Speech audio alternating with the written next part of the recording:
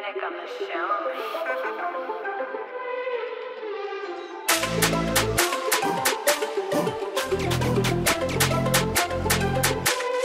Gecenin yamacında kalbim yaşlı